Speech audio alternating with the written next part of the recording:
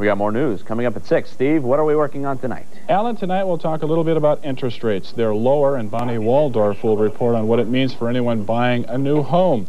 There's a Grand Forks student who's pinning her hopes on uh, high school wrestling. Eric Hansen will have that story. Roger Degerman will report on the Bison's basketball players as they prep for their battle against South Dakota State.